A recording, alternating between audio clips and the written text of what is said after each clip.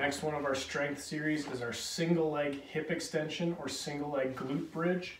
So again, back on the floor, can let our head go back, pick up one leg.